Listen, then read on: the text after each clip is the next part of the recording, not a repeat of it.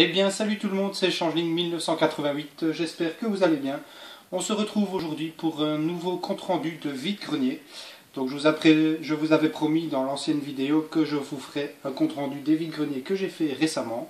Donc euh, ici, c'est un vide-grenier que j'ai fait la semaine du 14 juillet. Donc on commence tout de suite. Euh, tout d'abord, je me rends sur un grand vide-grenier où euh, les prix étaient exorbitants, il y avait beaucoup trop de monde. Euh, à titre d'exemple, j'ai croisé un seul euh, homme qui vendait des jeux Game Boy à 8 euros pièce en loose. Donc on ne s'est pas attardé, on s'est rendu directement dans une autre brocante. On fait d'abord un tour et il était fort tôt au matin, genre 6 heures du matin, et personne n'avait encore tout déballé, juste un gamin, je ne sais pas pourquoi, l'intuition. Je lui demande s'il n'a pas des vieux jeux à vendre, et directement le gars me dit Oh, j'ai des vieux jeux Nintendo 64, repassez dans 5 minutes. Donc je repasse dans 5 minutes, et là, il me montre ceci qu'il avait à vendre. Alors en titre, hein, je vous montre. Mischief, ne connaissais pas du tout, moi. Il y avait la notice avec celui-là. Wave Race, hein, classique sur Nintendo 64. Quake. Perfect Dark. Le grand Mario 64.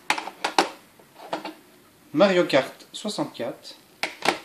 Et Pokémon Snap.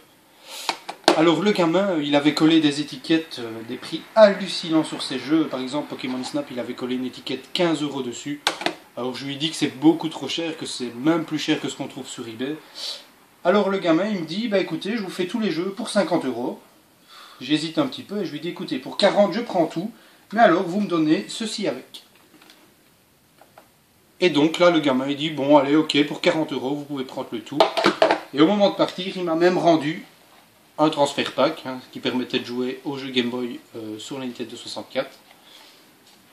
Donc voilà, première trouvaille, assez sympathique à la première brocante. On, fait, on termine juste cette brocante-ci, et puis on s'en va vu qu'il était fort tôt, personne n'était encore là. Et on va à une brocante à 20 minutes de là, on arrive vers 6h20. Euh, il y avait directement là le premier stand sur lequel on tombe, c'était un revendeur avec tous ces jeux super chers évidemment, très désagréable en plus le gars parce que je parle un peu avec lui. Mais il était âgé, etc. On se dit bon, il a peut-être pas fait son tour, on va aller voir directement. Et nous avons bien fait d'aller voir parce que on n'avait pas fait 3 mètres que je tombe donc sur ceci. La console est dedans. Hein. Les 101 Dalmatiens, excellent jeu, Monster et compagnie. Alors regardez, on voit le prix à l'époque. 37,15€. Et alors il y avait le Spider-Man en loose avec juste la notice. Et je demande à la femme combien elle le fait. Et elle me dit, oh écoutez, moi il faut que ça parte, je vous fais à 10 euros le lot. J'ai tout pris. Évidemment, c'est pas cher. Voilà la Game Boy, hein, vous voyez, dans un excellent état avec même le cache-pile. Ça c'est super parce que ça devient rare à trouver avec le cache-pile. J'ai pas chipoté, j'ai embarqué directement à 10 euros. Pour une fois, ça vaut la peine. Donc là, on était certain que le revendeur n'avait pas fait son tour, puisque trouver des perles comme ça à 10 euros, c'est bien sûr qu'il n'est pas passé. Alors on continue un petit peu, et là on tombe donc sur une femme qui vendait ceci. Donc normalement c'était un lot spécial avec trois jeux dans un seul pack. Euh, il manquait donc le troisième jeu. Je lui ai demandé à combien elle les faisait. Au début elle m'avait dit 10 euros pour les deux. Euh, moi je lui ai dit je lui en donnais 5 pour les deux. Elle a dit oui directement. Euh, pas de souci. pareil, jeu complet pour PSP avec la notice à chaque fois. Bon, content, j'ai acheté la PSP il n'y a pas une semaine. je suis content de les avoir trouvés parce qu'actuellement je mets que 3 jeux dessus, donc ça m'en fait 5 avec cela. Bon, ma foi, on les a pris. Alors, en continuant un petit peu, j'ai eu ma compagne, euh, ma petite femme chérie, pour une fois, elle a trouvé quelque chose. D'habitude, c'est toujours moi qui trouve, mais cette fois-ci, elle a déniché ceci, qui était complètement à l'abandon sur un stand. Euh, directement, elle est venue me chercher, évidemment, euh, deux personnes très très gentilles qui vendaient ces jeux. ils étaient en train de déjeuner d'ailleurs.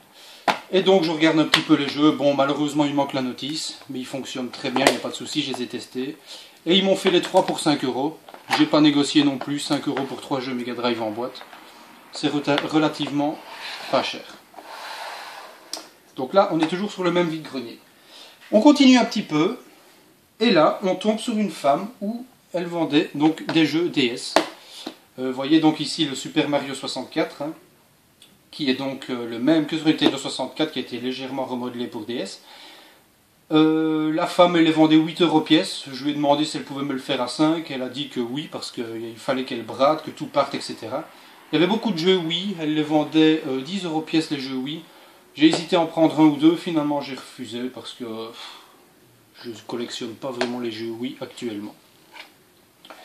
Et alors, dernière trouvaille sur cette brocante. Euh, je suis super content de l'avoir trouvé, celui-là le Pokémon jaune en boîte. Donc c'était euh, une dame également qui vendait ça pour ses enfants. Euh, à la base, euh, elle me dit 5 euros. Bon, déjà 5 euros, vous savez tous que c'est pas très cher, mais vu l'état de la boîte, je me suis permis de le négocier à 3 euros. Donc simplement, la femme a dit oui directement, elle n'a pas chipoté. Donc il est bien bien complet. Vous avez vu donc le Pokémon avec donc les manuels d'origine très très content de l'avoir trouvé parce que c'est le premier que j'ai sur Game Boy. Il manque le rouge et le bleu. J'aimerais beaucoup les trouver, mais enfin, on verra. Donc voilà pour ce deuxième vide-grenier. Euh, c'était euh, ce troisième vide-grenier par contre. Pas mal de trouvailles, on était très contents. Et on devait encore en faire un dernier qui était assez proche euh, de celui où on était. Et donc on s'y rend. après 2-3 minutes, il n'y avait pas grand chose. beaucoup de gens étaient déjà présents. Et puis je tombe sur ceci. Donc c'est une Philips G7000, c'est une des premières consoles sorties euh, pour euh, console de salon. Donc comme vous voyez, il y a donc les deux manettes et les câbles qui sont avec. Elle était très très très poussiéreuse, nous l'avons nettoyée. Euh, la femme, elle était là au milieu de son stand, je lui demande combien elle le vend, elle m'a dit 4 euros. Bien sûr, pour 4 euros, j'ai pas chipoté, j'ai pris directement. Euh, j'ai regardé un petit peu la cote, elle est cotée entre 25 et 30, ça dépend un petit peu. Euh, maintenant, 4 euh, euros, j'ai pas chipoté, je l'ai prise directement. Je ne suis pas très friand de ce genre de console, je n'aime pas trop, mais bon, en tant que collectionneur, c'est toujours une belle pièce à posséder en plus je l'ai prise et j'ai pu chipoter. Et il y avait donc les deux jeux avec ici, complet, notice, plus cassette. J'avais jamais vu ce genre de cassette en fait, c'est la première fois que j'en voyais. Vous avez vu, j'ai regardé sur internet, il y a des gens pour les mettre, ils, les lancent presque dedans, ils frappent un bon coup dessus. C'est assez spécial. Je l'ai testé, elle fonctionne. Bon, j'ai pas encore très bien compris comment on jouait, mais ça n'a pas l'air terrible de toute façon. Alors, deuxième trouvaille sur cette brocante, deux jeux GameCube. Euh, ils sont complets. Il n'y a pas de souci. Voilà, notice et jeux. Euh, la femme vendait la console avec à 15 euros. Euh, donc je lui demande le prix que des jeux. Elle m'a dit bah, écoutez, je vous fais les deux à 10 euros. Je lui ai dit à ce prix-là, je ne les prends pas. Elle m'a dit bah, combien? Bah, Je dis je sais pas, dites-moi. Elle m'a fait les deux à 5. Et j'ai encore négocié à 4. Elle me l'a laissé à 4 euros, donc 2 euros pièce.